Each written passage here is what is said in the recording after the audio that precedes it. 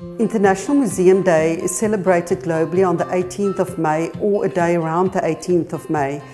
It started in 1977 and it's the 44th year that it's in existence. It is to make awareness around our, for our public, to make them aware of museums and the importance of the museums in our country and worldwide. This year we're looking at the theme Recover and Reimagine of our future of our museums.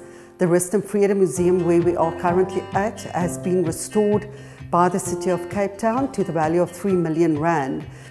This shows the support from the City of Cape Town towards arts and culture in society. We would like to invite you to the Clay Museum at the Rust en Vrede Museum building and thereafter the, there's regular exhibitions that is taking place to show the awareness of art in Cape Town.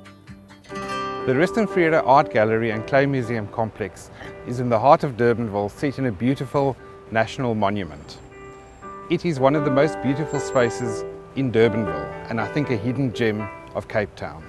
Rust en Vrede is really a community art centre. It's a place to meet, learn and be visually inspired.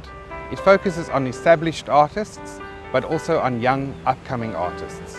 Martin Zalberg was the founder of the Clay Museum, and the Clay Museum opened in 1986 and was opened by Esaias Bosch, a very well-known potter in South Africa. The collection housed in the Clay Museum is mainly a contemporary collection of studio pottery in South Africa.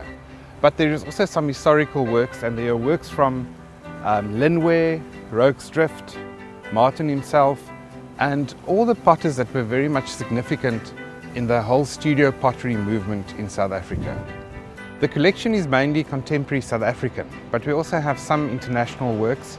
And one of the pieces um, in the Clay Museum is by Bernard Leach, who is considered the father of British studio pottery. So it's a very important piece in the Clay Museum. At the moment in the Clay Museum, there is a collection of showing the works of potters that work in very specific methods. They are firing techniques. So it is a very interesting collection to come and look at. You'll see salt firing, you'll see smoke firing, you'll see reduction ware. Everything that is done in ceramics can be seen in this museum. There are many workshops presented at Rust en Vrede. Also many artist studios in the space and a community garden. So it very much is geared towards the community and art. The Clay Museum is very much a living museum. It has what is called the Cube, also in the museum, and that is a collection of 90 little spaces that are filled by living potters. And it's a wonderful way through Ceramic Southern Africa to keep the museum going as a living entity.